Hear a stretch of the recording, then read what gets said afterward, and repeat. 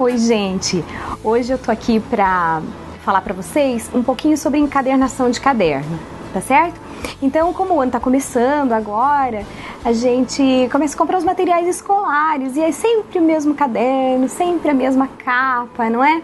Então, é uma dica aí para vocês que estão de férias, é, tá trabalhando com esse material novo e com as crianças que estão de férias para aproveitar essa possibilidade, essa oportunidade da gente estar tá um pouquinho mais perto das crianças e deixar a criatividade das nossas crianças fluírem também tá certo? Então eu vou estar tá passando aqui uma dica básica hoje para vocês, bem básica mesmo, simples, para a gente estar tá podendo refazer aquela capa de caderno e deixar a capa de caderno assim mais simples possível para a gente poder estar tá, depois numa outra oportunidade fazendo uma decoração legal, tá certo? Então vamos lá. A gente precisa de um caderno, tá?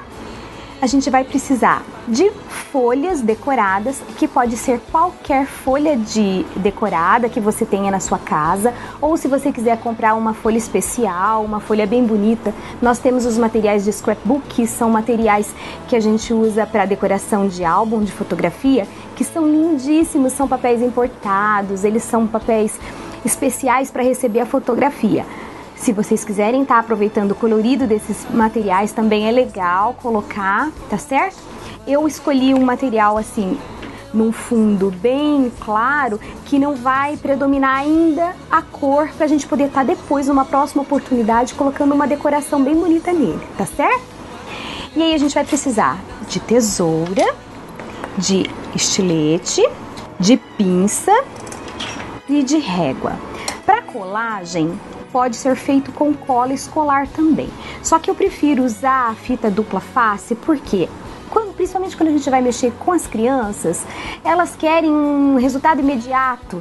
Né? E a cola demora um pouquinho para secar. Então, para evitar essa frustração de ter que ficar esperando o caderno secar para ver como é que ficou, eu prefiro usar a dupla face. Vocês vão ver que é super fácil. Então, vamos lá na montagem, tá certo? Então, aí a gente pega a dupla face, e vai margear a, o caderno todo.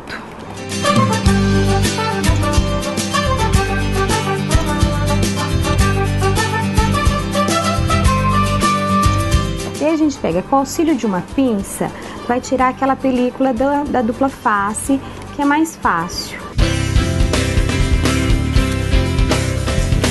Agora a gente pega o papel no A4, vem aqui aonde você pôs a dupla face, estica ele. Tá certo? E aí, não há necessidade de fazer o acabamento.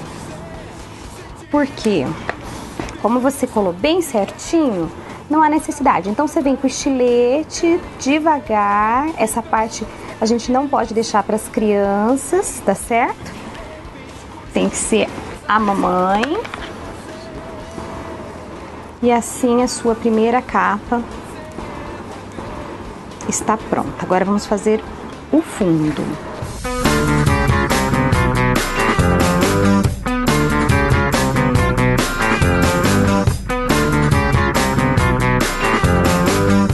E assim nós montamos a nossa capinha de caderno.